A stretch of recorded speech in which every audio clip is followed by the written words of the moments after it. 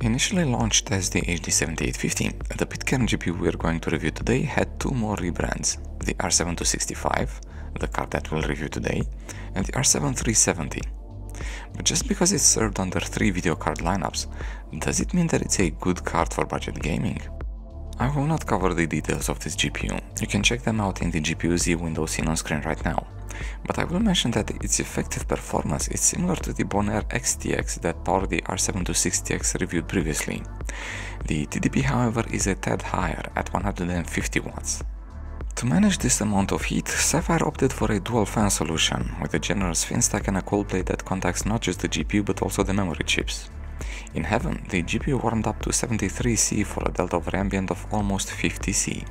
The card was tested using the same Z230 workstation from HP using the i7-4770 equivalent Xeon CPU and 32GB of DDR3 running in dual channel at 1600 MHz. Rainbow Six Siege is the first in the gaming results section. 1080 resolution and 100% render scale will have you believe that this will provide a 60 FPS all of the time kind of experience, thanks to its 1% lows value of 58 FPS and the average of 74. However, having some performance margin is not a bad thing, and any of the following settings combinations will provide just that. I would not go to 720 resolution and 50% render scale though, it's not really needed. Doom Eternal is unfortunately a reason to go for the R7-260X instead. The artifact in scene on screen right now seems to be representative for the GCN1 family of cards. None of the GCN2 ones behave like this. Pity. Fallout 4, however, runs quite well on the R7-265. 1080 resolution in high settings will give an average of 35 FPS and 1% lows of 32. And this is in Diamond City, one of the more demanding areas of the game. There is no reason to drop the resolution below that, unless you go for the highest settings. Multiplayer titles that have a wide open game world present a particular challenge. You need both high FPS and a high pixel count. Apex Legends is one of those titles and while 1080 resolution looks appealing, with average of 77 FPS, the 1% lows in the mid-50s might become a problem. 1600 by 900 seems to provide a good compromise with the metrics at 96 and 65 FPS respectively, while 720 resolution will sacrifice screen resolution for performance. Between low settings and low settings, consider the latter when playing Shadow of the Tomb Raider. The volumetric lighting and the presence of shadows is worth a drop of resolution from 1080 to 1600 by 900. The latter runs at 48 FPS on average and almost 30-41% lows, while the former at 54 and 37 FPS respectively.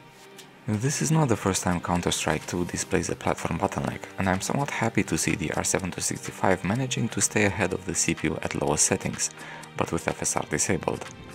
At 1080 resolution, the card averages 114 FPS and provides 1% lows in the mid-90s. Same scenario in the ADAS but this time at low resolutions, have both these metrics in the same ballpark. Borderlands 3 displays the best example of trading resolution for enhanced visuals. Here are the settings where the R7-265 manages to stay on the single player playable experience. 1080 resolution and very low quality settings will get you an average of 46 and 1% lows of 34 FPS. Same resolution but low settings will drop that to 39 and 29 FPS respectively. Increasing the settings to medium requires a drop in resolution to 1600 by 900 to remain playable. And if the 28 FPS for the 1% lows is too low, then 720 resolution will raise that to 33 and the average to 45 FPS. XDefiant gets playable frame rates on this card at 1080 resolution and low settings, with average going to the mid 80s and the 1% lows reaching 59. As the resolution decreases, the frame rates increase to 109 FPS for the average and 74 41% lows at 1600 by 900, and to 144 and 91 FPS respectively at 720 resolution. Resident Evil 4 will run out of VRAM at 720 resolution and prioritize performance preset. FSR was disabled and the R7-265 managed an average of 36 FPS. But those VRAM requirements, about 3GB if I'm to believe the figures shown on the settings dialog, do have a say when it comes to the 1% lows. They are stuck to 20 FPS. Fortnite shows the same behavior for the 1% lows as with the previously reviewed card. They stay stuck somewhere between 60 and 75 FPS at all three tested resolutions. I ran the game in performance mode with the rendering distance set to far, and while the average FPS did increase from 93 FPS at 1080 resolution to 148 at 720, the 1% lows did not, at least not by the same percentages.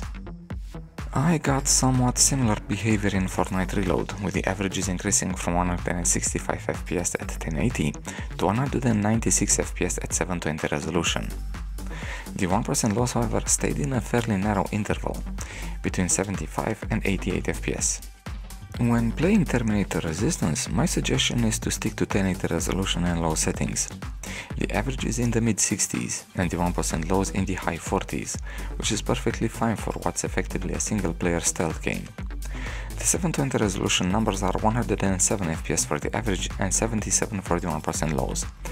There is a bit of room to tweak visuals here. Overwatch 2 can be played at 1080 resolution and low settings. Both the average FPS of 126 and the 1% lows of 97 are quite adequate for this game. You can trade the resolution for FPS as seen on screen. I'm not quite sure however if 243 FPS for the average and almost 200 FPS for the 1% lows is worth halving the pixel count on the screen. If I'm considering Dota 2 as a binary test, then the R7-265 can play it comfortably at 1080 resolution and low settings, but with the rendering scale pulled back to 100%. The average FPS and the 1% lows of 89 and 49 FPS respectively seem to be less relevant for this game.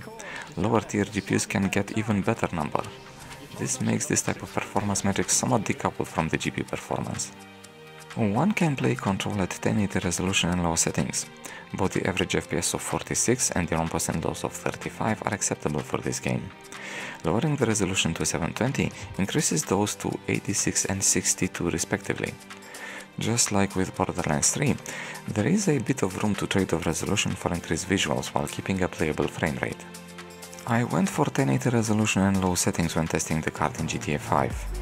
This way I'd get like-for-like comparisons with other cards. The R7-265 averaged 117 FPS in the last canned benchmark and the 1% low stayed about 70 FPS. Both metrics hint that there is some performance headroom to increase the visuals. The Mariana mission in Warframe closes the benchmark section of this video. The card managed 180 FPS for the average and 114 FPS for the 1% lows. The game is an online PvE, so there is quite a bit of performance to be traded for better visuals. The second category of favorite GPUs after the no power connectors one is the single 6-pin connector. While cards from the first one are the means to transform office PCs into entry-level gaming machines, Cards from the latter are a good fit to my Z230 workstation using its original PSU that has, you've guessed it, a single 6-pin PCIe power connector. Now, there are quite a few other cards that will provide better performance for sometimes less power draw. But in a market where GT 1030s will go as high as 40 USD, paying the equivalent of 30 for an R7-265 is not that bad of a deal. There is another variant of Pitcairn GPU out there that carried not 3 but 4 names. We'll have a video on it soon, make sure to subscribe if this sounds interesting. As for this video, we're done. Thanks for watching, I hope you liked it and I'll